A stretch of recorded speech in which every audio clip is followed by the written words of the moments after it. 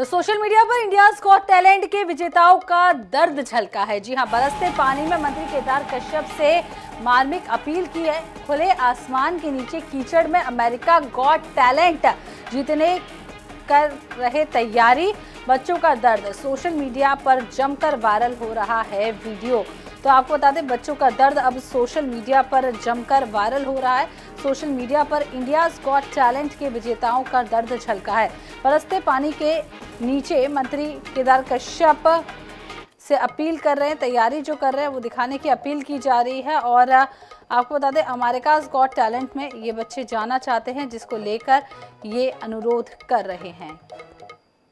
माननीय विधायक हमारे प्रिय श्री केदार कश्यप जी, मैं मलखम की अंतर्राष्ट्रीय खिलाड़ी हूँ, जिसमें हमारी अकादमी ने अब तक 500 से ज़्यादा पदक जीत चुके हैं।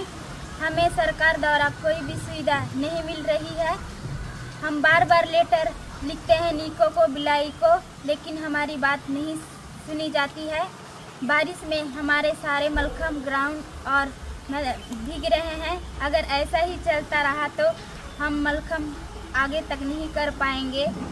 हमारी आपसे यही विनती है यहाँ पर इंडोर स्टेडियम बना दिया जाए और आर्थिक सहायता दी जाए, जिससे हम मलखम को अमेरिका व ओलंपिक तक ले जाएँगे। तो नारायणपुर से हमारे साथी इमरान खान इस खबर पर ज़्यादा जानकारी के लिए जुड़ गए। इमरान, जिस तरीके से तस्वीरें सामने आई हैं, बच्चे हैं, मासूम हैं, अपना दर्द झलका रहे केदार कश्यप से विनती कह लें, अनुरोध कह लें, कर रहे हैं। मलखम की प्रैक्टिस नहीं कर पा रहे हैं। क्या कुछ है पूरा मामला? जी आईएनएच के दर्शकों को बता दें ये बहुत ही बड़ी विडंबना की बात है जो बच्चे छत्तीसगढ़ का नाम रोशन करने वाले थे बस्तर का नाम रोशन करने वाले थे हम्म। आज वो खुले आसमान के नीचे प्रैक्टिस कर रहे हैं अपने मलखम की सामग्रियों को बचाने की गुहार लगा रहे हैं सरकारी मदद की गुहार लगा रहे हैं। आपको बता दें कि ये जो इंडिया गॉट टैलेंट में सीज़न दस का जब खिताब जीत कर लौट रहे थे तो समूचा पूरा छत्तीसगढ़ इनके इस्तकबाल के लिए खड़ा हुआ था। हम्म। जगह जगह जोशीला स्वागत किया गया था। अब मानो ऐसा लग रहा था कि इन सरकार आगे आएगी, लेकिन ऐसा कुछ भी नहीं हुआ है। जो बच्चे अपने दम पर प्रैक्टिस कर रहे हैं, अपने दम पे आ रहे हैं, सरकारी सुविधा के नाम पर उनको कुछ भी नहीं मिल रहा है। यहाँ नारायणपुर में बीएसपी का बड़ा खदान चल रहा है निक्को जायसवाल का खदान चल रहा है। सीएसआर फंड की जो बात होती है इन लगातार ये पत्रचार कर रहे हैं कि उनको उस, उस सीएसआर फंड से इनकी मदद की जाए लेकिन हम्म। बड़े जो औद्योगिक घराने सिर्फ़ कागजों में खेल रहे हैं।